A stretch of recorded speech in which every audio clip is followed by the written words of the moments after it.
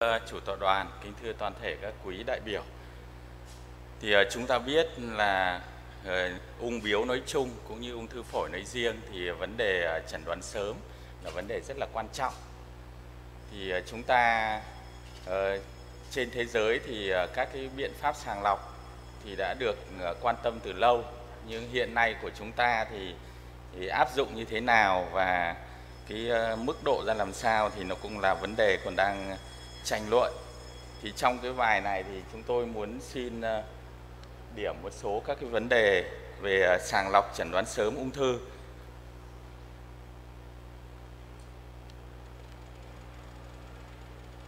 Thì chúng ta biết là ung thư phổi hiện nay nó đang có xu hướng gia tăng và dù có rất nhiều các biện pháp để chẩn đoán sớm cũng như là điều trị, nhưng mà cái tiên lượng vẫn là khó khăn vấn đề thứ hai là cái vai trò của chẩn đoán sớm chiếm vai trò rất quan trọng, bởi vì khi chúng ta chẩn đoán sớm thì các cái biện pháp can thiệp điều trị nó sẽ cải thiện rất rõ cái tiên lượng của bệnh nhân. Tuy nhiên thì à, hiện nay các thống kê ngay cả các nước à, tiên tiến thì cái tỷ lệ mà chẩn đoán sớm cũng còn rất thấp, nó chỉ khoảng trong vòng 30% thôi. Và những cái kỹ thuật hiện nay tiến bộ thì nó giúp ích cho chúng ta rất nhiều trong cái cải thiện chẩn đoán. Cái phần thứ nhất tôi muốn đề cập qua một chút về cái tình hình chung của ung thư thì ờ, chúng ta nhìn thì trên ờ, thế giới hiện nay thì đối với nam thì ung thư phổi là đứng đầu. Ở Việt Nam thì ờ, chỉ đứng sau trong ung thư gan. Thế còn ở nữ thì là đứng thứ ba, nhà Việt Nam thì có đang xu hướng đứng thứ hai hoặc là đang lên lên cũng lên đầu về cái tỷ lệ tử vong thì ờ, chiếm tỷ lệ rất là cao trong cả trên toàn cầu. Và đặc biệt là cái thời điểm chẩn đoán thì ờ, như chúng ta thấy cái tỷ lệ chẩn đoán ở cái giai đoạn ờ, sớm là giai đoạn 1 và giai đoạn 2 đấy, thì cái tỷ lệ nó còn thấp. Và đặc biệt là cái giai đoạn 4 thì cái tỷ lệ chẩn đoán cũng chỉ được cũng còn rất cao và chúng ta thấy là cái tiên lượng thời gian sống thêm thì nó phụ thuộc rất nhiều vào cái giai đoạn của bệnh nhân. Cái giai đoạn mà càng muộn thì cái thời gian sống thêm nó càng ngắn, dù cái các cái biện pháp à, điều trị được cải thiện rất nhiều. Thì các cái biện pháp mà hiện nay à, trên thế giới sử dụng thì à, từ kinh điển là xét nghiệm tìm tế bào ung thư ở trong đờm. Tuy nhiên thì hiện nay cái kỹ thuật này thì người ta không còn áp dụng nữa. Về chẩn đoán hình ảnh thì à, đặc biệt người ta nhấn mạnh đến kỹ thuật là cắt lớp vi tính liều thấp, rồi các kỹ thuật nội soi mới, các cái dấu ấn sinh học và hiện nay thì đang đề cập đến một cái khái niệm đấy là sinh thiết lỏng để sàng lọc. Thì ờ, các cái nghiên cứu ờ, đã được công bố rất lâu rồi thì cái vai trò nhấn mạnh vai trò của chụp cắt lớp vi tính liều thấp thì có cải thiện rất rõ rệt trong cái chẩn đoán sớm so với lại x quang à, quy ước. Thế lý do tại sao? Bởi vì ờ, cắt lớp vi tính ờ, liều thấp ấy, thì nó cho một cái công cấp, một cái hình ảnh chi tiết và phát hiện sớm những cái tổn thương nhỏ mà x quang ờ, chuẩn chúng ta không phát hiện được. Và đây là một kỹ thuật mà nhanh, không xâm lấn, không tiêm thuốc cản quang và nó giúp cho cái sàng lọc chẩn đoán ung thư hiệu quả hơn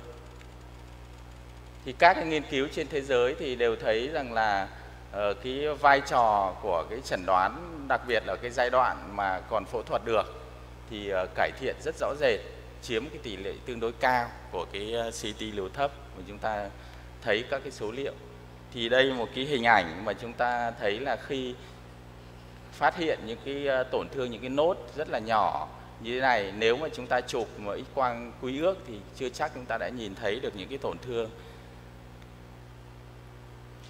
hay là những cái tổn thương mà chỉ khi chúng ta chụp ờ, uh, CT liều thấp chúng ta mới thấy thì rõ rệt cái tính chất của nó hơn. Thì khi chúng ta chụp này thì khi phân tích hình ảnh chi tiết được hơn thì chúng ta mới có thể là định hướng được chẩn đoán sớm và làm các kỹ thuật khác để chúng ta chẩn đoán xác định.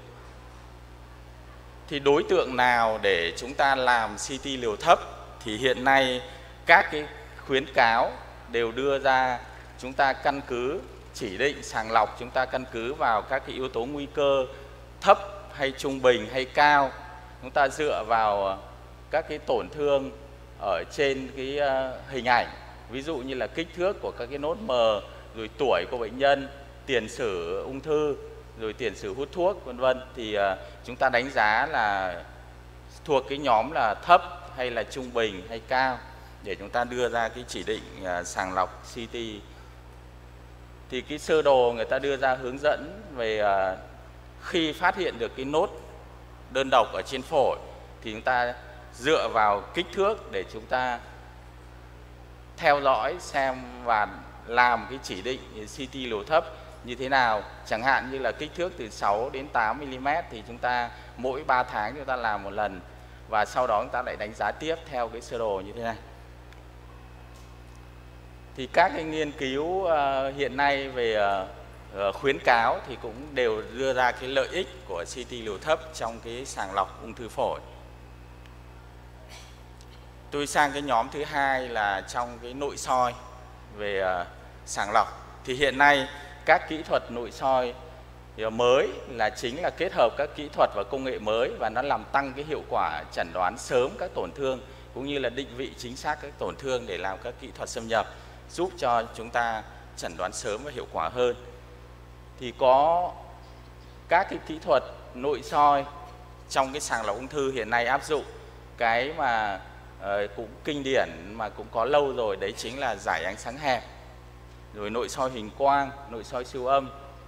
Thì uh, hai cái kỹ thuật mà dưới ấy, thì hiện nay thì uh, chúng ta chưa có là nội soi cắt lớp và nội soi vi thể hình quang thì hiện nay ở Việt Nam chúng ta chưa có. Thế còn uh, ba cái đầu kia thì ờ, ở Việt Nam chúng ta đã có.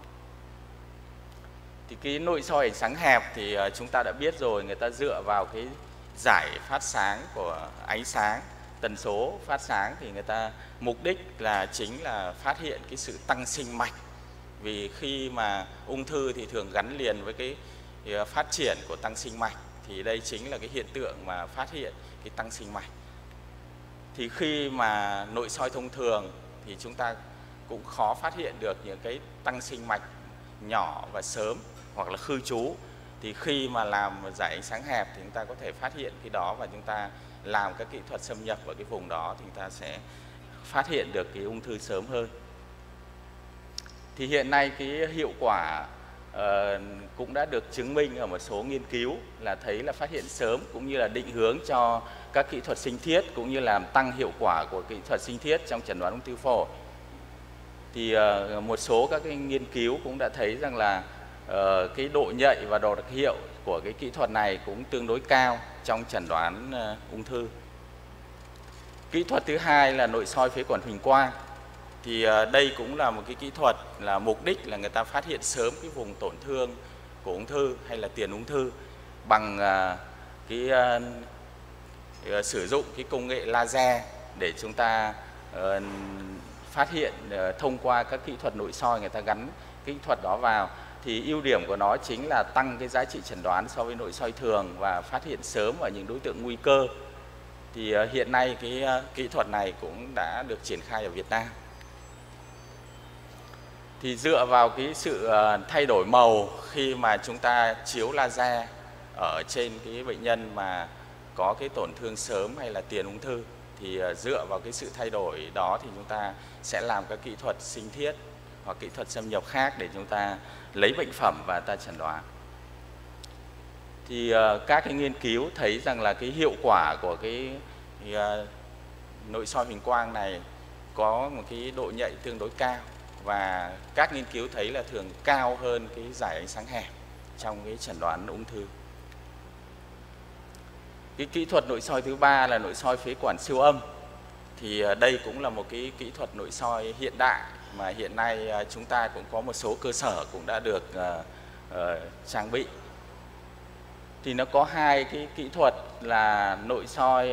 đầu dò lồi và nội soi đầu dò uh, 360 độ thì ờ, cái nội soi đầu dò lồi thông thường người ta áp dụng cho các cái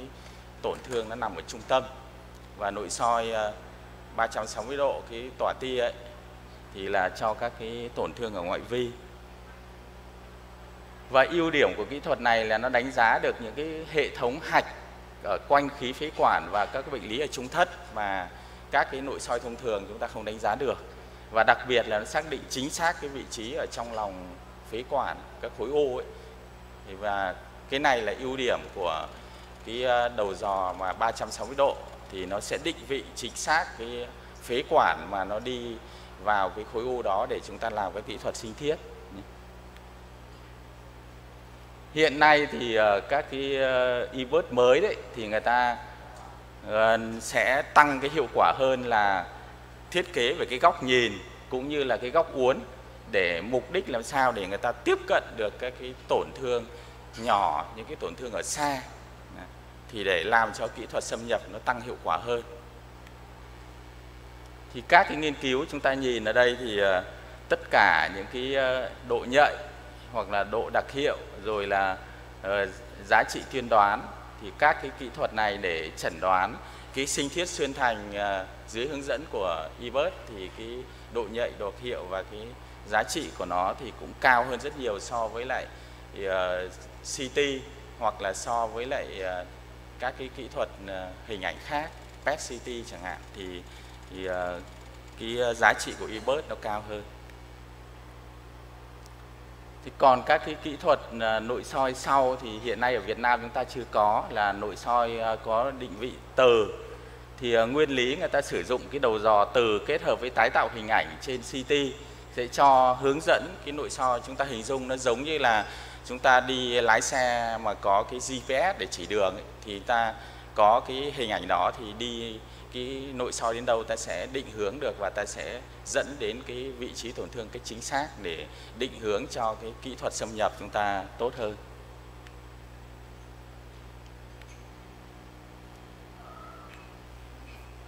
Thì các cái à, nghiên cứu đều thấy rằng là cái vai trò của uh, các cái kỹ thuật nội soi thì uh, nó sẽ có mỗi cái nó sẽ có một cái ưu điểm để trong một cái uh, chẩn đoán và dùng các kỹ thuật xâm nhập ở các cái tổn thương khác nhau. Ví dụ có kỹ thuật thì nó ưu điểm cho những cái chẩn đoán các cái hạch trung thất hoặc các cái tổn thương ở trung tâm nhưng có những cái kỹ thuật thì nó lại ưu điểm cho là các cái tổn thương ở ngoại vi cái nội soi à, cắt lớp thì à, đây cũng là một kỹ thuật mà hiện đại trong những cái năm gần đây. Viện à, Việt Nam ta thì hiện tại chưa có. Thì đây chính là cái kỹ thuật mà người ta uh, ứng dụng uh, các cái chẩn đoán hình ảnh mới kết hợp với lại nội soi vào để người ta tái tạo hình ảnh để giúp cho cái, cái uh, nội soi phát hiện được chính xác tổn thương cũng như là định vị cho các kỹ thuật uh, xâm nhập lấy bệnh phẩm. Thì đây là hình ảnh của nội soi uh, cắt lớp. Thì chúng ta thấy rằng là khi mà tiến hành uh, các cái hình ảnh tổn thương phát hiện được và sau đó thì người ta uh, tiến hành uh, chúng ta hình dung nhìn cái hình ảnh nội soi giống như là chúng ta nhìn hình ảnh của cái, cái giải phẫu đại thể. Đấy thì chính nhìn rõ các cấu trúc như vậy thì khi làm các kỹ thuật xâm nhập thì sẽ lấy bệnh phẩm một cách chính xác hơn thì sẽ chẩn đoán ờ, chính xác những cái bệnh lý ờ, ung thư sớm hoặc là tiền ung thư. Hoặc là tái tạo cấu trúc hình ảnh để chúng ta nhìn ờ, các cái hình ảnh nội soi ảo của các cái cấu trúc của khí phế quản là giống như hình ảnh nội soi ảo thì để người ta đánh giá cái tổn thương chính xác hơn. Thì vai trò của nó được đặc biệt là ứng dụng trong cái chẩn đoán ung thư sớm là Ờ, một trong những ưu điểm của kỹ thuật lần này. Còn ờ, nội soi vi thể huỳnh quang thì ờ, đây là người ta kết hợp giữa cái nội soi với laser và với cái tái tạo hình ảnh trên cái chẩn đoán hình ảnh cắt lớp mới nữa thì người ta sẽ tạo thành cái kỹ thuật này thì, thì uh, nguyên lý của kỹ thuật này mục đích nó cũng là để chẩn đoán sớm tổn thương và cũng như giúp cho uh, định vị chính xác để cho các kỹ thuật xâm nhập để lấy bệnh phẩm. Thì ngoài ra nó còn à, phát hiện những cái cấu trúc về vi thể, cấu trúc tế bào cũng như là cấu trúc mô. Ví dụ ta nhìn một cái hình ảnh của cái nội soi vi thể đây thì chúng ta thấy rằng là rất rõ các cái cấu trúc, từ à, các cái cấu trúc của các cái tuyến phế quản như thế nào, rồi là cấu trúc của các cái tiểu phế quản tận, rồi là các cái phế nang như thế nào thì nó rất giống như là chúng ta nhìn trên các cái kính hiển vi. Thì à, rõ các cái tổn thương như vậy thì giúp cho các kỹ thuật à, xâm nhập lấy bệnh phẩm một cách chính xác hơn. Cái à, nhóm thứ ba sàng lọc thì trong những năm gần đây người ta ứng dụng vào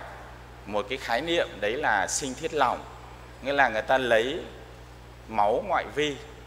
thì để hy vọng là chẩn đoán sớm ung thư như thế nào thì rất nhiều ung thư đã ứng dụng kỹ thuật ờ, gọi là liquid biopsy này. Thế đối với ung thư phổi thì ứng dụng ra làm sao? Thì hiện nay có ờ, 5 cái kỹ thuật mà người ta ứng dụng trong ờ, chẩn đoán ung thư sớm trong cái kỹ thuật sinh thiết lỏng là thứ nhất là người ta tìm cái DNA của khối u lưu hành ở trong máu nhé hoặc là uh, ARN lưu hành hoặc là cái ờ, tiểu cầu mà được sản xuất ra từ khối u, hoặc là cái ờ, exosome, hoặc là tìm tế bào ung thư lưu hành ở trong máu. Thì cái kỹ thuật mà tìm tế bào ung thư lưu hành trong máu thì cũng đã được ờ, ứng dụng từ lâu rồi. Nhưng mà ba cái kỹ thuật trên thì hiện nay gần đây mới được ứng dụng để nghiên cứu. Thì ưu điểm của cái kỹ thuật này là gì? Chính là chúng ta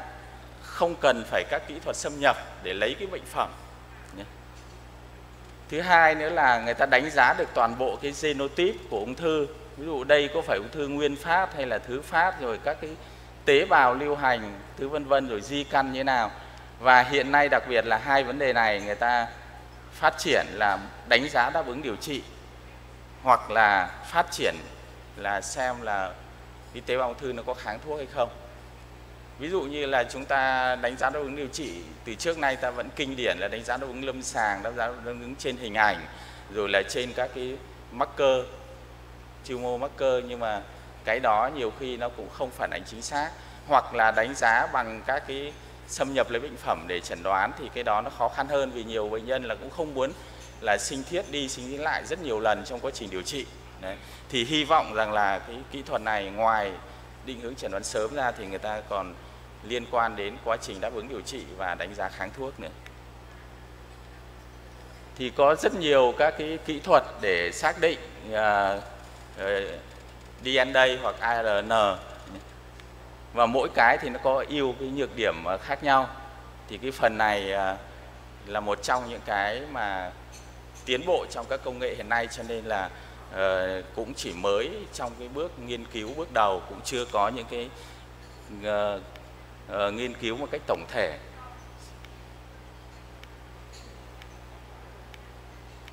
Trên phần này tôi sẽ đi nhanh thôi. Thì qua một số các cái phần như vậy thì tôi xin có một số kết luận như này. Thứ nhất là chẩn đoán sớm ung thư có vai trò rất quan trọng trong thay đổi hiệu quả điều trị và tiên lượng. Thứ hai là các kỹ thuật sàng lọc mới thì nó làm tăng hiệu quả chẩn đoán, cũng như hiệu quả cao, chính xác và ít xâm lấn. Và đây cũng là những cái phương pháp sàng lọc tiềm năng của hiện tại và tương lai. Đặc biệt là CT liều thấp thì đấy một trong cái mà dễ ứng dụng nhất trong nước ta hiện nay. Và cái vấn đề thứ hai nữa là một số các cái kỹ thuật nội soi mới mà Việt Nam cũng đã có thì chúng ta nếu cơ sở nào có, ta nên tận dụng những kỹ thuật đó để ta sàng lọc chẩn đoán sớm và vấn đề thứ ba là những cái cơ sở các cái tuyến uh, trung ương hoặc là có điều kiện thì ta cũng nên nghiên cứu các cái kỹ thuật về sinh thiết lỏng hiện nay trong ứng dụng trong sàng lọc ung thư. Thì uh, tôi xin kết thúc bài đây. Xin uh, cảm ơn sự theo dõi của các quý đồng nghiệp.